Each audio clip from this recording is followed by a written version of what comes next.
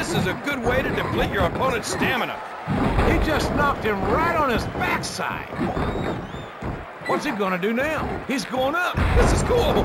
This is cool.